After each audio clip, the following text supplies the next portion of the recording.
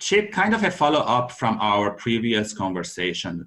So, is it important when people are applying to have value alignment with the core values of the company, or is it okay to have a little bit of difference and how they can present themselves during the interview? You mm-hmm. mentioned that Airbnb does core interview questions. So, how can they present themselves that I can do the job, but still I'm different or I'm a new immigrant?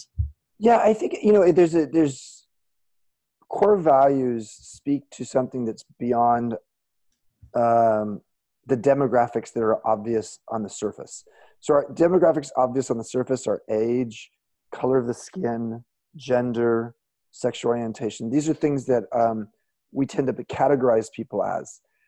But core values speak to things that are deeper than just how we look and it and that's the key is um, each company first of all if a company actually doesn't even have clarity about what their core values are then this is a hard thing to even start with. So i would say start with the idea of no more my opinion is no more than six core values and frankly i think four is an even better number which is these are the these are the values that are that a company holds dear that mm-hmm. they want to they want to continue no matter how the company grows into the future.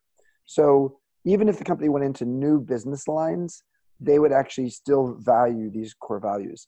And uh, as Tony Hsieh at, at Zappos suggests, if you uh, come up with a core value that is so generic, such that if you put it into Google in a search, you would never see your company core value come up. It means that you haven't gotten specific enough about how it's unique to your company. Mm-hmm. So think of values as something quite unique to your company. It's like a fingerprint for the company. Then once you have that, you help people in the organization know how do those core values show up as behaviors in the company. So let's use an example.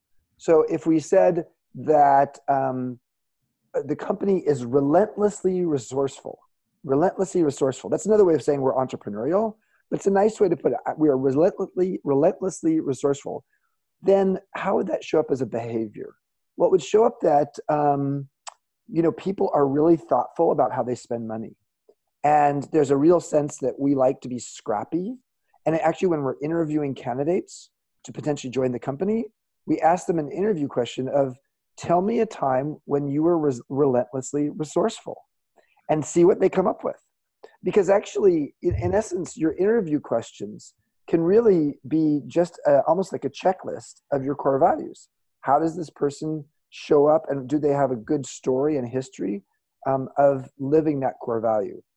So at the end of the day, just know that core values are, in essence, almost the invisible glue that brings people together. And the more global the company, the more virtual the company in terms of people not being in the same location all the time, the more important the core values. Yeah. And I also feel that if the direction comes from the top, from the CEO, that they are open to to people who have a little bit different uh, core values, or they are open to new immigrants coming to the workplace. I feel that that will also help.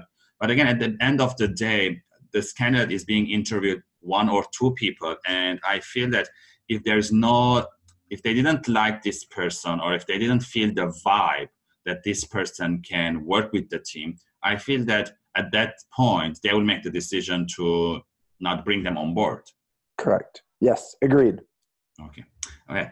Again, thank you for those tips, Chip. And for the audience, if you have any other tips that will help in terms of value alignment, again, please leave it in the comment section. Like and share the video, subscribe to the channel, and tune in tomorrow for another question with Chip.